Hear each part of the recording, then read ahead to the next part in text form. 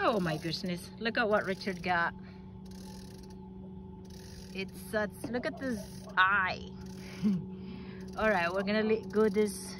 Man, they have a really sharp pin right there. Look at that. That's crazy. I did not know that they have a pokey uh, thing. So anyway, we're gonna let this one go, guys. Uh,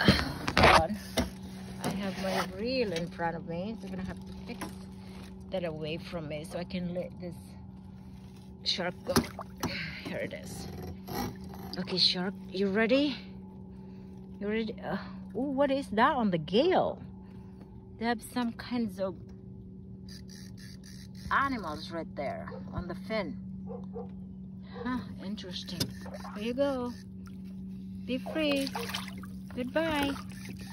Bye.